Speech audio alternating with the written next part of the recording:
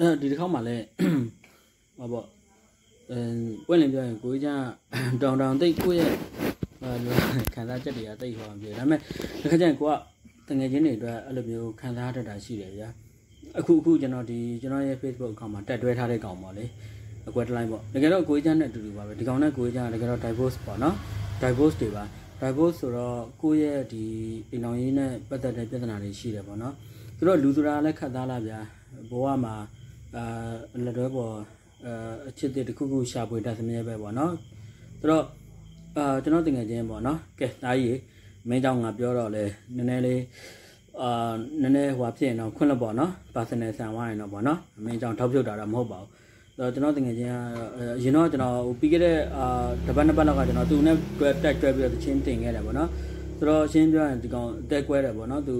ဟိုမိန်းကလေးတယောက်သူဟိုပါပေါ့နော် ဟိုသူနှစ်သက်တယ်ပြီးရင်သူတို့ဖြစ်တယ်ပြတ်တယ်ပေါ့နော်ပြတ်သွားတယ်ဆိုတော့အဲ့အဲ့ဒီဟာနဲ့ပတ်သက်ပြီးတော့ကျွန်တော်တို့တငယ်ချင်းချင်းချင်းပေါ့နော်ရင်ဖွင့်ကြတယ်ရင်ဖွင့်ကြတဲ့ခါကျတော့တုံဟိုဘယ်လိုပြောမလဲကိုလည်းကိုငယ်ပေါင်းနေဆိုတော့တငယ်ချင်းကြီးဆိုတော့ဟိုကိုလည်းဘာဖြစ်ခံစားရတာပေါ့နော်ကိုလည်းတချင်းတွေပါရေးနေဆိုတော့ကိုလည်းခံစားခံစားမိတယ်ပေါ့နော်ကိုကိုတိုင်းအသက်မကွဲမှန်လည်းအသက်ကွဲသလိုခံစားမိတယ်ပေါ့နော်အဲ့ခါကျသူ့အဲ့တုန်းကတော့ဒီအာအာသာနီရဲ့အာဗာလဲ ဗာလဲမညွညင်ပါဘူးသချင်းပေါ့နော်အဲ့ဒီချင်းတင်တင်သူနဲ့တက်တွဲပြီးတင်တော့အခုကတော့ကိုကိုတိုင်းဒါဒီကောင်ရဲ့အကွဲတလိုင်းကိုကွန်ပျူတာပြင်ကိုကိုတိုင်းလည်းအကွဲတလိုင်းပါပဲအမှန်တိုင်းပြောရနော်ဒါကြီးပြောရင်လည်းကိုပေါင်ကိုလှန်ထောင်းရကြโอเคအဲ့တချင်းလေးတစ်ပုတ်ပေါ့နော်တငယ်ချင်းလဲဟိုဖြစ်နေလဲကိုလဲကွဲနေပေါ့လေနော်ကြည်လက်ရဲ့မြို့ပြလမ်းခွဲ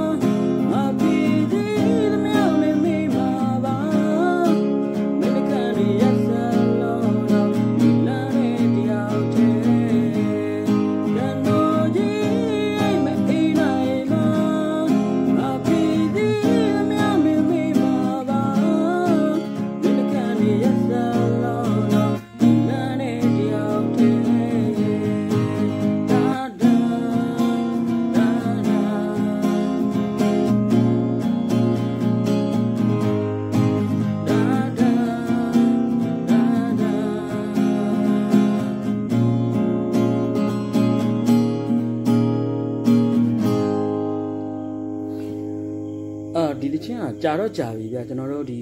အာကျွန်တော်ကြီးမလန်မြတ်နေကြောင်းမှာရှိတော့ဟာပေါ့နော်ဒီဟိုဟာပေါ့အာမိန်းကလေးတောင်ရှိမှသွားပြီးတော့ဂီတာတွေပါသွားတီးနဲ့တငယ်ချင်းတွေသွားဆူပြတဲ့တခြင်းပေါ့နော်ကြာလဲကြာပြီကျွန်တော်လည်းအရင်မပိုင်နိုင်တာဖြစ်တော့တယ်ပေါ့နော်တငယ်ချင်းအတွက်ဒါဒီညနည်းနည်းလေးအာတစုံတရာတွေးမိလို့ဖီးမိနဲ့ဆူမိတာပေါ့နော်အလွယ်လွယ်ချော်ချော်အမားတွေရှိခဲ့တော့ခွင့်လို့ပါတော့တကယ်တော့အဲပေါ့ဒီတခြင်းအပိုက်လေးတွေနည်းနည်းလွဲတာတွေပါရှိခဲ့တော့ ခွင့်လို့စီချင်ပါတယ်လို့ကိုကတော့ဘာညာတော့မဟုတ်ဘူးပေါ့နော်ဒီဟိုကျွန်တော်အစောပိုင်းကပြောခဲ့သလိုတငယ်ချင်းရဲ့ဒီအကွဲတလိုင်းနဲ့ပတ်သက်ပြီးတော့ကိုလည်းဒီဥစ္စာပေါ့နော်ဒါအလွမ်းတက်ခံဆွေတက်ခံနဲ့အခွဲကောင်နေဆိုတော့အဲ့လိုမျိုးစုံမိတဲ့သဘောပါလို့နော်အမားရင်းနေရှိရင်တော့အဲကျွန်တော် FB ကတငယ်ချင်းတွေအဲကျွန်တော်ရဲ့အမျိုးတွေအားလုံးခုလိုနားလည်ပေးသိချင်ပါတယ်လို့နော်